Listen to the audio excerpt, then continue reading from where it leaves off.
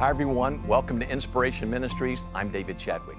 I'm trying to help all of us understand how to answer this very difficult question why is there suffering in the world? If God is good, why is there suffering? And there are some biblical answers. Let's turn to God's Word to try to find some of those answers today.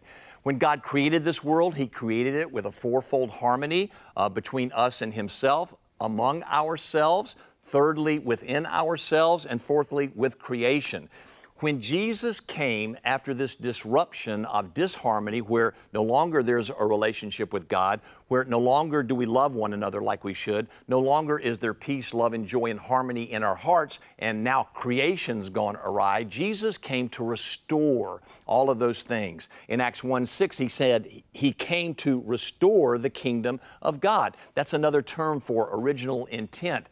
God's kingdom, His rule. And Jesus came not only to reestablish our relationship with God through the cross, the forgiveness of our sins, but also to put love in our hearts where the second disharmony is solved, where we start loving one another. Then, thirdly, He gives us that love within us that reestablishes God's intent for peace within us. He never desired there to be guilt and shame and depression and discouragement.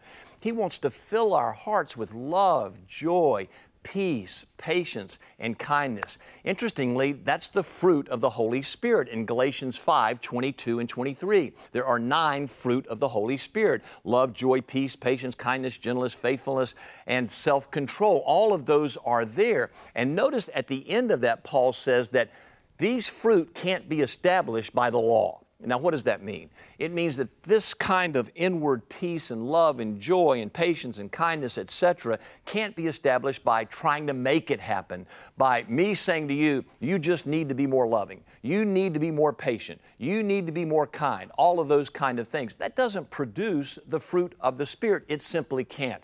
It's the result of the root of Jesus living within you, then producing that fruit. So the more you focus on abiding in Christ and letting Christ abide in you, the more you allow yourself to be in Jesus completely and Jesus in you completely, that fruit naturally flows forth from your life. And what it does, it reestablishes that which was lost in the garden. It restores that inward peace that God wanted Adam and Eve to have and you and me to have for all of our lives.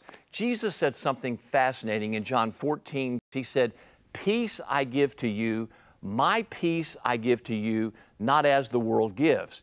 Well, the world's understanding of peace is the absence of conflict. For example, if you have two people at odds with one another, they'll try to mediate that and find some kind of peace accord between themselves. When you have two nations at strife with one another, they try to find someone who will come and bring peace between those two nations. But Jesus' peace is an inward peace by His presence.